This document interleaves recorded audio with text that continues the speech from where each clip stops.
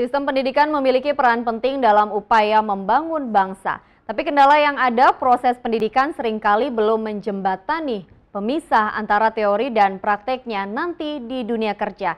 Kondisi ini yang disoroti oleh CEO MNC Group Haritanu Sudibyo saat memberikan kuliah umum di Universitas Negeri Padang, Sumatera Barat.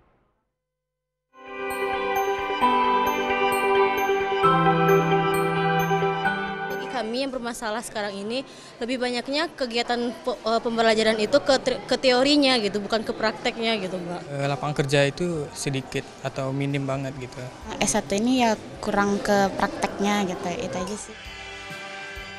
Inilah kondisi yang dihadapi para mahasiswa perguruan tinggi di tanah air. Tidak sedikit bahkan lulusannya tidak siap menghadapi praktek dan persaingan dunia kerja. Wajar saja jika bobot pendidikan yang mereka terima selama ini minim pengetahuan dunia kerja. Kendala ini disoroti oleh CEO MNC Group Haritanu Sudibyo saat mengisi kuliah umum di Universitas Negeri Padang, Sumatera Barat. Tidak hanya kiat sukses, dalam kesempatan itu Haritanu tidak sungkan berbagi pengalamannya membangun bisnis MNC Group. Indonesia itu masa depannya tergantung dari generasi muda. Kalau generasi mudanya itu bisa berkembang, profesinya maju, pesat, ya Indonesia akan lebih cepat lagi majunya. Kita harus berkualitas ya dan itu harus terus-menerus kita lakukan.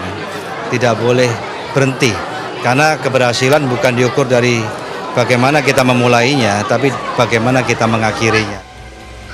Upaya berbagi pengalaman seperti apa yang dilakukan CEO MNC Group Haritanu Sudibyo diharapkan menjadi inspirasi sukses para generasi muda. Karena di tangan mereka lah nasib bangsa dipertaruhkan. Dari Padang, Sumatera Barat, tim liputan MNC Media melaporkan.